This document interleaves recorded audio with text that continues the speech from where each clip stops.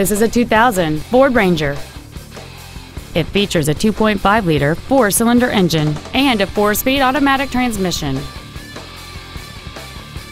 All of the following features are included a multi link front suspension, solar tinted glass, tinted glass, halogen headlights, an anti lock braking system, side curtain airbags, and this vehicle has fewer than 56,000 miles on the odometer.